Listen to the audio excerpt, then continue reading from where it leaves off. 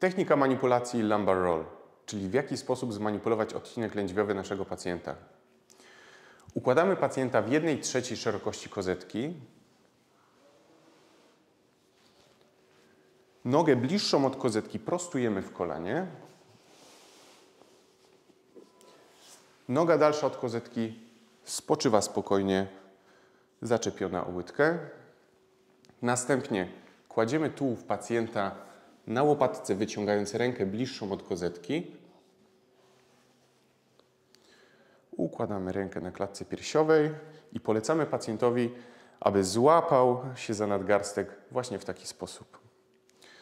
Pozycja końcowa, w której układamy pacjenta, powinna pozwolić mu na samoczynne leżenie bez naszej pomocy, tak aby nie zrotował się ani do tyłu, ani do przodu.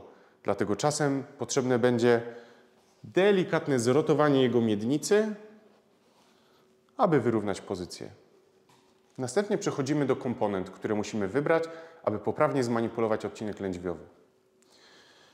Pierwszą komponentą będzie zgięcie boczne kręgosłupa. Wykonujemy je poprzez nacisk przed ramieniem na talerz biodrowy w stronę dogłowową. Kolejna komponenta to zgięcie. Zgięcie wykonamy poprzez delikatny tilt miednicy do tyłu pochylenia. Następnie wykonujemy kompresję w stronę segmentu, który chcemy zmanipulować. I wykonujemy manipulację poprzez upuszczenie ciała w stronę pacjenta.